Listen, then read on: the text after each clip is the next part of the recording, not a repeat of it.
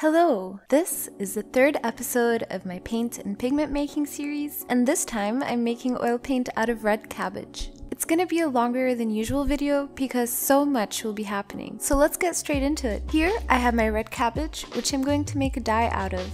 And let's just take a moment to appreciate how beautiful of a purple it is. It's really something special, and I'm totally fangirling over it. I'm going to open it up, and let's just take another moment to admire its awesome line work. Really is such a beautiful vegetable that makes me in awe of what nature is capable of creating. I almost feel bad that I'm going to completely chop it up right now.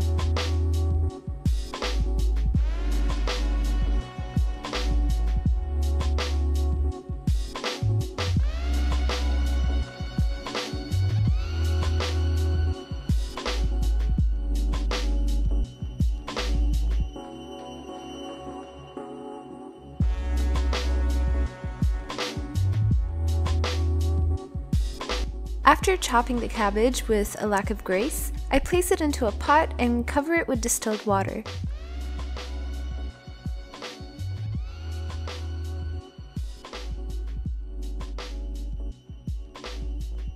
I put it on high heat until it starts bubbling and then I leave it on low heat to simmer.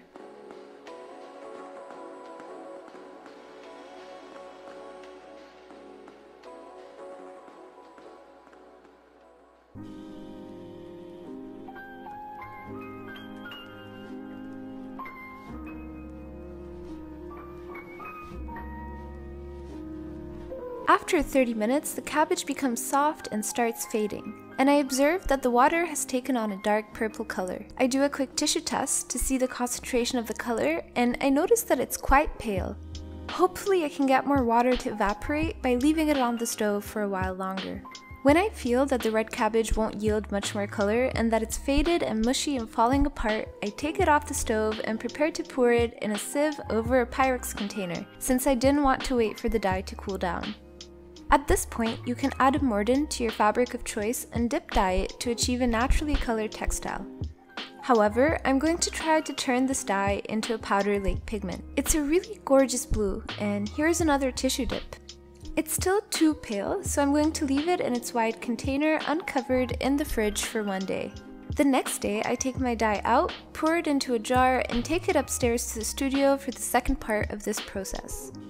At this point, it's a dark blue purple. To turn this dye into pigment, I have to precipitate it with a metallic salt. If you want to know more about how to do that, be sure to check my video which goes into depth about it. So what is happening now is that I placed hot but not boiling water into two cups, dissolving a teaspoon of alum into one and washing soda into the other. I try to mix them really well. I decide to add an extra teaspoon to my alum solution because I'm still testing out the ratios of each. If you know a good ratio, please let me know. I add the alum to my red cabbage and mix well.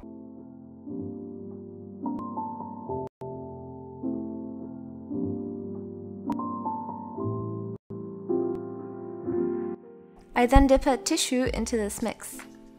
Since alum is a mordant, I believe it made the color attach really well to the tissue. It's a really, really gorgeous blue, and if I can capture it forever, I would be a very happy girl. I add the washing soda and cross my fingers that this blue will remain. Unfortunately, I know that this type of chemical reaction usually changes the color of pigments, and since red cabbage is a natural pH indicator, I'm not keeping my hopes up. But I'm still having my fingers crossed. The solution is definitely becoming more blue and losing its purple hue. It's actually super beautiful. I prefer it to the original color. Blue is so rare in nature, and if I can hold onto this color, it would be a massive success. This type of blue actually slightly resembles woad. I actually really love it a lot. I noticed that there isn't much precipitation, so I add a tiny bit of washing soda and do another tissue test.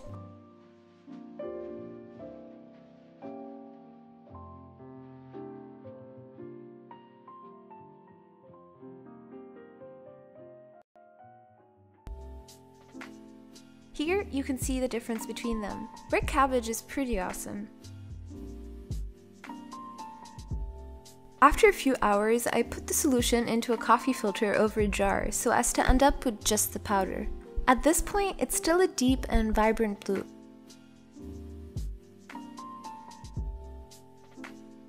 Here's the paste after a few hours of filtering. Still blue and still pretty. I'm going to take the filter out, open it, and place onto a plaster bat that will absorb its moisture fast. Wow, it's actually so pretty. It's gotten a little bit green, but I still love it. Spreading it is kind of my favorite thing.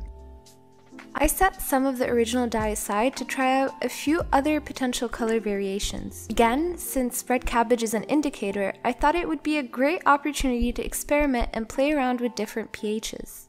For this experiment, instead of using alum or washing soda, I'm going to try to precipitate the dye onto chalk. I'm simply going to place in the dye some chalk that I had sifted and see what happens. I mix it around and hope it latches on.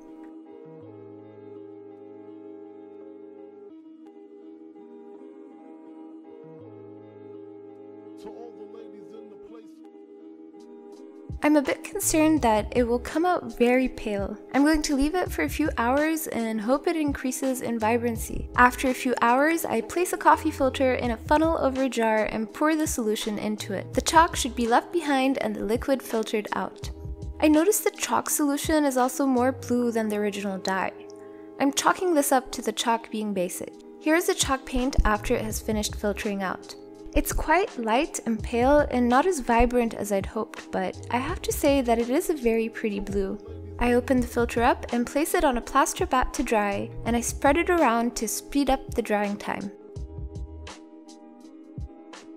Now for another test, I'm putting two more jars of the plain dye aside so that I can see the effects of different pHs. I notice that this dye looks much more blue than the original, and I honestly can't tell you why. I'm recording this five weeks after the fact, and I honest to God can't remember how it got so blue. I then get lazy and add my alum straight to the solution and realize very quickly why it's recommended practice to dissolve it in hot water first. It's pretty hydrophobic and difficult to mix. The acidic alum, however, got the dyes back to that original purple hue. Here's a quick tissue dip test of the solution. The cup on the left is my acid test, so I squeeze a small lemon into it and mix. It hasn't really changed color to be honest. The tissue is a very strong pretty color though. I add more lemon and I notice some pink starting to appear in the foam. It's definitely changing color this time. Encouraged, I add some more. It's not a pure pink or red, but it's a very reddish purple. Here's a dip test. It's quite pretty. I then add washing soda to it and mix. The solution turns back to a shade similar to that of the original dye. The washing soda being very basic counteracts all the acidity I put in and sort of balances everything out. So I go for the heavy ammo and pour some vinegar into the cup hoping to get back some of my pinks and reds. It's not really working to be honest. Although it's fizzing and reacting, I don't see any difference in color. Not complaining though, it's a pretty color. The cup on the right is my alkali and base test. So I add some washing soda to it, which is an extremely basic substance. The solution fizzes up as a reaction takes place. It's becoming this dark turquoise green. I add more and more to see how green I can make it. It will probably make for a paint with terrible texture, but this is more about exploring the color rather than making a commercial product. This tissue dip test reveals a very deep and attractive greenish blue that mostly leans towards blue. Here's a side-by-side -side of both acidity tests. Exciting stuff! Now I'm also going to pour both of them through a filter. I ran out of funnels so had to improvise with some clothespins. I pour the alkali test first, which has turned very green, and then I make the same setup and pour the acidity test.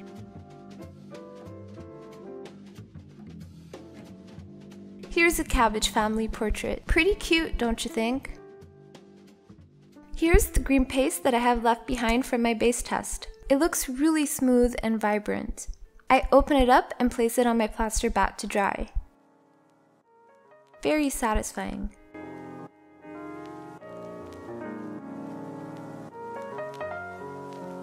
It's actually kinda dark on camera though. It's a lighter green in real life. So I'm trying to pump up my ISO to try to get close. I touch it because I'm still a child. Now to do the same thing with my acid test. So little came out and I'm not sure why, but it'll be enough for a small test. Now to do some housekeeping so that I can have some space.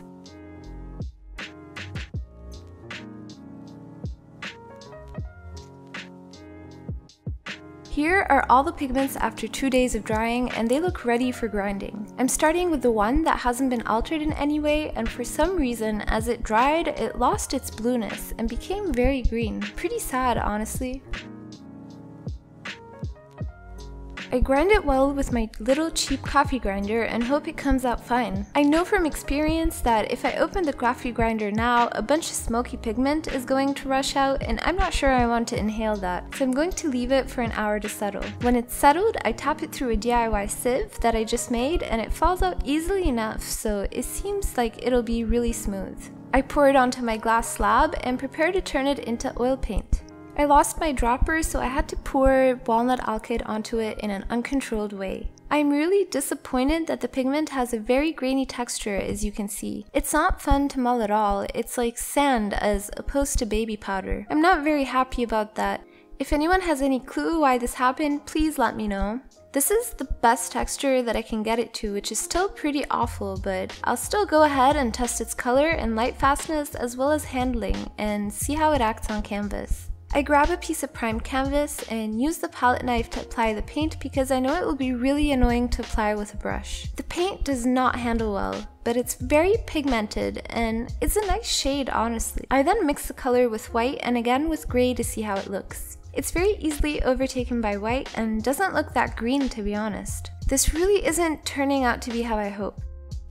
I then try to make a wash slash glaze and it's just failing so badly. This paint is pretty much unusable. I really have no idea why it's like this. The last thing I'm doing with this specific pigment is mixing it with a clear acrylic gel so as to observe the pigment's light fastness. I will wait till it's dry and cover up a section of it so as to visually gauge the effect of UV light on the color.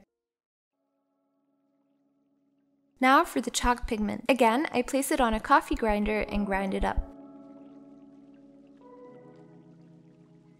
It looks a lot smoother than the previous pigment and is quite pale and light, but a very pretty light blue. I repeat the process of sifting it and then I place it on a glass slab to turn into paint. I add my walnut alkyd and start mulling. Here's some scrape porn for ya. Thanks for sticking around this long. I appreciate it. The chalk isn't super smooth to be honest, but it's much better than the previous pigment and it's a nice pleasant blue. Hopefully it doesn't fade. I may have added too much alkyd, but things are looking pretty good. I'm applying it to another piece of primed canvas and I really really like the color actually. And handling it ain't half bad. I'm quite happy with this one. I put some aside for the light test and I'm again mixing it with clear acrylic gel. Next, I'm going to mull my acid test. It was purple when it was drying, but it's totally been bleached into a light blue. Kind of a fail, honestly. I'm too lazy to grind it, so I'm just going to try to mull it as it is. If you want to see someone who pathologically cuts corners and almost always regrets it later, you've come to the right channel. The result is a grayish blue paint. Not that special, but I'm not mad at it. Canvas test confirms that it's not that exciting. It's pretty dull and not that vibrant or colorful. Also, forgive my little labeling mix-up, they all kinda look the same. Now to repeat this whole process again with the alkali test. It has changed dramatically over the past two days. It's become a very light green with strong mustard hues place in grinder, and you know the drill. I know this one would be super grainy because I put tons of washing soda in it, but still, very unpleasant and not satisfying, and the noise it makes is pretty awful. It looks pretty good though. Not great or fantastic or exciting, just good. I take that back. On canvas, it looks pretty gross. I personally wouldn't use this color. I'm not really going to bother with a light test. Okay, let's wait five weeks and do a final check-in and evaluation. I'll quickly go through all of them and then give them one overall rating. Here's the red cabbage by itself after five weeks. It's turned very dark, so I would say it's not very color fast, and it just became more dull in general. I'm gonna remove the tape and see how light fast it is.